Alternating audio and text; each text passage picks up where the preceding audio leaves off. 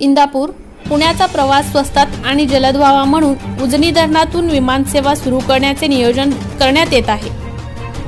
सोलापूर जिल्ह्याची वरदायिनी असणाऱ्या उजनी जलाशयावर विमानतळ होणार असून पंढरपूर इंदापूर पुण्याचा प्रवास स्वस्तात आणि जलद व्हावा म्हणून उजनी धरणातून विमानसेवा सुरू करण्याचे नियोजन करण्यात येत आहे.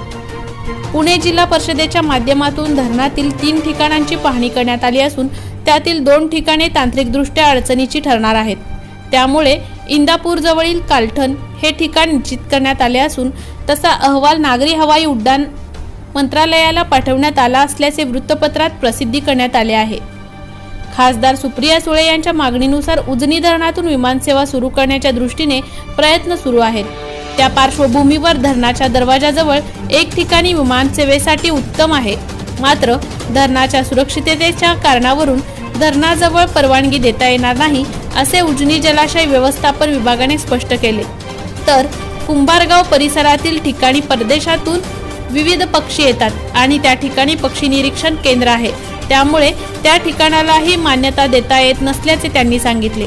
त्यामुळे आता कालठणची जागा निश्चित करण्यात आली आहे. काही दिवसांपूर्वी पुणे जिल्हा परिषदेच्या माध्यमातून खासगी टेक्निकल एक्सपर्ट यांनी त्या ठिकाणांची पाहणी केली आहे.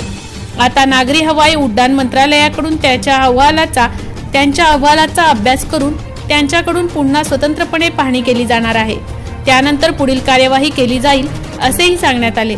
तत्पूर्वी त्याला उजनी जलाशय आणि पर्यावरण विभाग व एअर ट्रॅफिक कंट्रोल विभागाची मान्यता घ्यावी लागणार आहे. उजनी धरणातून विमानसेवा सुरू केल्यानंतर पर्यटन वाढीसही मदत होणार आहे.